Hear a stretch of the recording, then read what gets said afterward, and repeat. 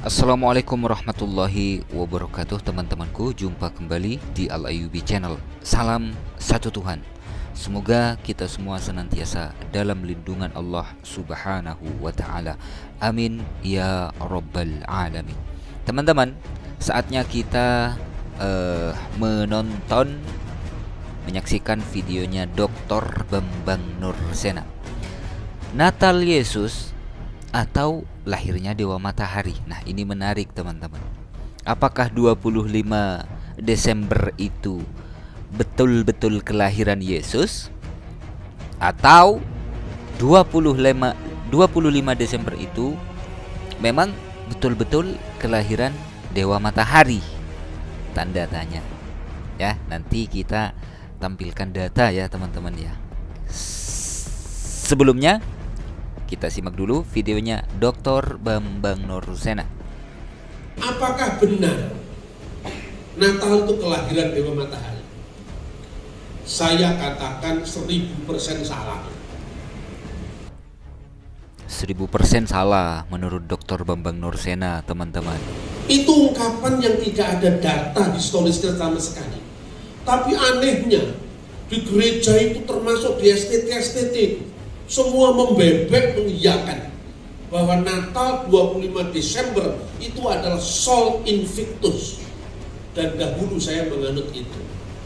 Yang kemudian dikristenkan supaya memudahkan orang-orang penyembah berhala menjadi Kristen. Katanya kata saya 20 tahun yang lalu juga begitu. Oh gitu dipatenkan 25 Desember sebagai perayaan hari Natal, hari lahirnya Yesus Kristus agar supaya penyembah-penyembah dewa matahari e, menjadi Kristen gitu. Siapa sih yang ngomong seperti itu? Nah, di sini nih orangnya yang ngomong. Pendeta Isra Soru.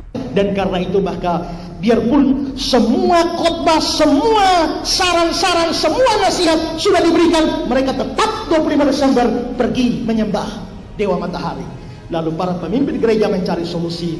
Kalau begini ceritanya, kita harus bikin sebuah perayaan tandingan. Dan perayaan tandingannya jangan kasih di tanggal lain.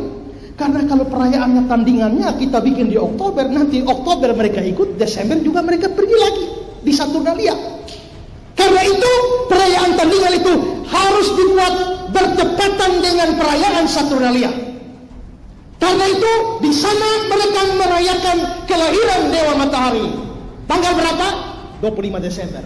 Kalau begitu, gereja harus membuat sebuah perayaan yang bertepatan dengan 25 Desember supaya orang harus memilih apakah tetap ada di gereja atau pergi ke Saturnalia.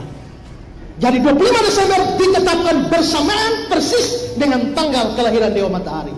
Di sana 25 Desember ditetapkan persis dengan lahirnya Dewa Matahari. Ini siapa sih yang nggak paham nih? Dr. Bambang Nursena yang tidak paham?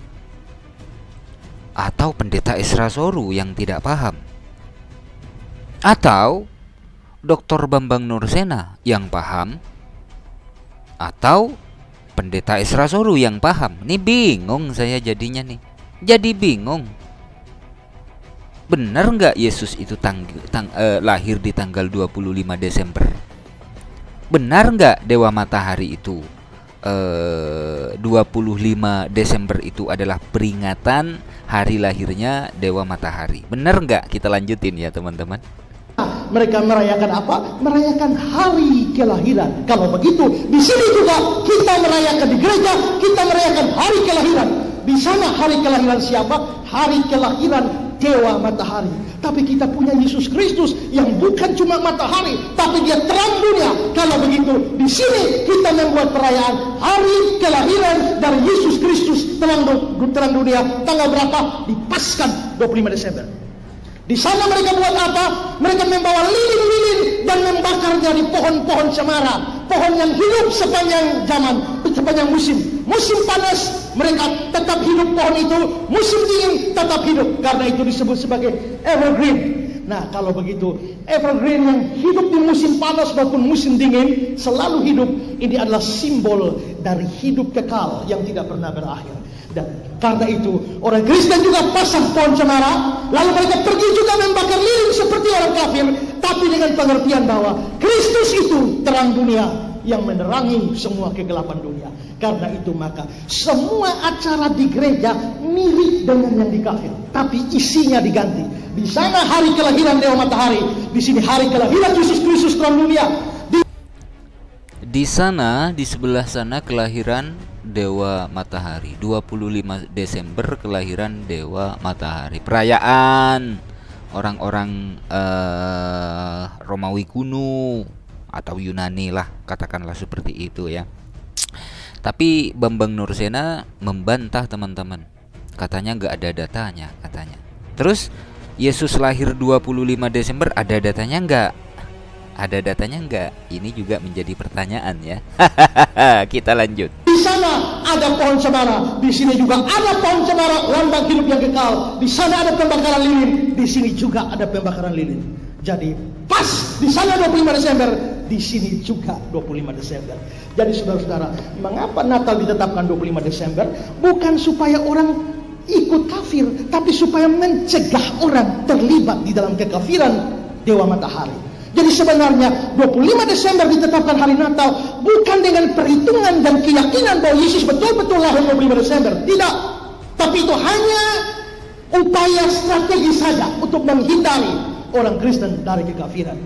Karena itu jikalau ada gereja-gereja sekarang yang tidak mau merayakan Natal dengan alasan tanggal 25 Desember itu adalah hari kafir, justru mereka salah. Karena justru itu ditetapkan supaya mencegah orang Kristen dari kekafiran. Itu soal Eh, berbicara kekafiran. 25 Desember itu ditetapkan agar supaya orang Kristen itu tidak menjadi kafir, artinya tidak menyembah dewa matahari. Pendeta Isra Soru tahu nggak makna daripada kafir itu apa ya? Saya juga heran kepada pendeta yang satu ini. Jadi jelas ya, Dr. Bambang Nursenal. Ini jadi saya bertanya-tanya ini. Anda yang tidak paham atau pendeta Isra Soru yang tidak paham? Lalu kita tampilkan di sini teman-teman. Ya, ini di TikTok ya. Kita menampilkan data ya eh, dewa-dewa yang lahir tanggal 25 Desember. Ini di TikTok kita tampilkan data dan tidak ada bantahan sedikit pun dari orang Kristen. Darah itu merah, Jenderal. Ya, cuma membacakan. Eh, begitu, Bang Harodes. Cuma membacakan ya. Bang. Iya, saya, saya cuma Bisa diulangi saja. mohon izin sebentar eh, Bang Jibril diulangi yang dewa-dewa yang lahir di tanggal 25 Desember itu pertama siapa? Eh, itu tadi kita telusuri dari Horus, Horus. habis itu ke Atis, Atis.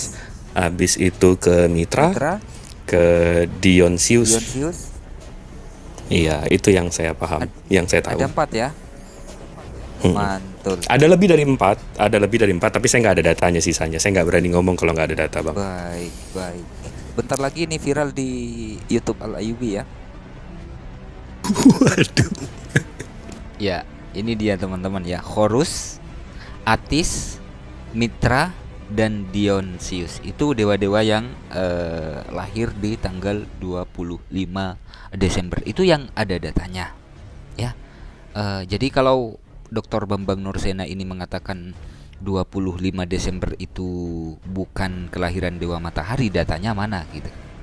Terus kemudian kalau Yesus eh, Dr. Bambang Nursena ini mengatakan Yesus itu lahir di tanggal 25 Desember, datanya mana? Kan kita bertanya-tanya teman-teman, ada datanya enggak kan gitu ya. Oke, terima kasih saudara-saudariku. Mohon maaf jika ada silap kata. Wassalamualaikum warahmatullahi wabarakatuh.